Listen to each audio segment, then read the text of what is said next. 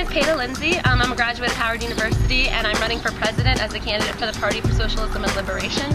Um, we're running this election because what the two major politicians are talking about is so far from what working people really need.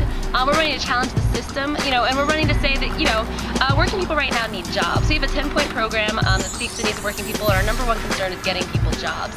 Um, we believe that a job should be a constitutional right, and we believe that the government should pay for a large-scale government-funded jobs program to get people working again. Um, unemployment in this country right now is the highest it's been in decades. Unemployment for young people is the highest it's been since the government began reporting those numbers.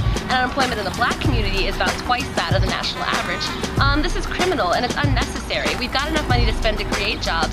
Um, they just they just use that money instead to fund wars abroad, um, and they hand that money over to the banks and the private capitalists. So we're saying, let's seize the banks, let's provide money for education, for jobs, for housing, for healthcare. All these things are fundamental rights, all these things are things that people need. Um, and we're running this campaign to let people know that that's what the people want, um, and that's what we want the people to have. The electoral process right now is so fundamentally corrupt. Um, both major politicians are estimated to spend about $2 billion just campaigning this year. Um, and you can't raise that kind of money as an individual um, unless you have the support of the biggest banks and corporations. So the big banks and corporations, they have paid for these politicians, they have paid for these elections, they bought and sold their candidates.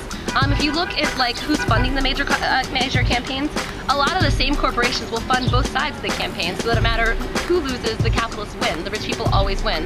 What we have as a democracy right now, it's not a democracy, it's a plutocracy. It's completely funded by wealth and it only serves the interests of the wealthy. So we're saying we need a whole new government, we need a whole new system, um, and we need a system that represents the people, not a system that represents the big banks and the corporations. Um, so, and we need fundamental change, revolutionary change. Um, we can't just function in the same systems and hope that system will work better. We need a whole new system. We're saying we're challenging the system. We say get rid of the old system. Let's replace it with a new system, with socialism, with a system that is premised on meeting the needs of people, not premised on, on getting greater and greater profits for the wealthy few um, capitalism as a system depends upon the exploitation of many um, in order to enrich few. And like if you, in order to enrich the few, like if you look at this, the way this country was founded, this country was founded on the slavery of African Americans. It was founded on the, the genocide, the theft of the land of the American people, um, and that was all predicated, that was all caused by the system of capitalism.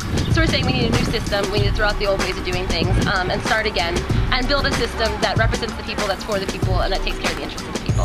I, am running with Yari Osorio, who's the vice presidential candidate, um, and we're running to bring the needs of the people, to bring the struggles of working everyday people into the electoral arena. Um, so vote for us, help us join the campaign. You can find out more at votepsl.org. Uh, look us up and let's get out there and get the people moving together.